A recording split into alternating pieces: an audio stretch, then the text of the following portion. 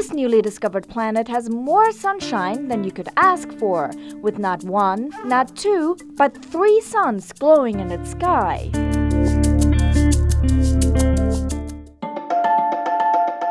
The planet has a not so sunny sounding name called HD 131399AB, and it was discovered by a team of astronomers from the University of Arizona in Tucson and elsewhere. The scientists used a direct imaging instrument located in Chile called SPHERE, which is one of the world's most advanced technologies for finding exoplanets.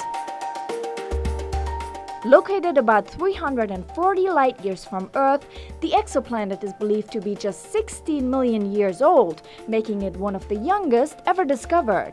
Its estimated mass is about four times greater than Jupiter's. To put that in perspective, Jupiter is 318 times more massive than Earth.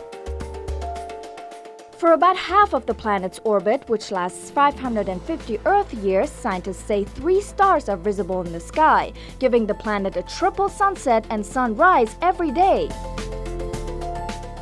The two fainter stars are much closer together and separated from the brightest star, but as the planet orbits and the two fainter stars grow further apart each day, they reach a point where the setting of one coincides with the rising of the other. The planet is then in a near constant daytime for about one quarter of its orbit, or roughly 140 Earth years.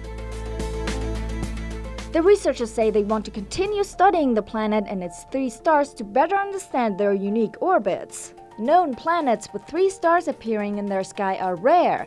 Only about a handful have been discovered so far. But the scientists believe that multi-star systems aren't as unusual as they may seem, and may even be as common as single stars, something they hope to shed more light on in the future.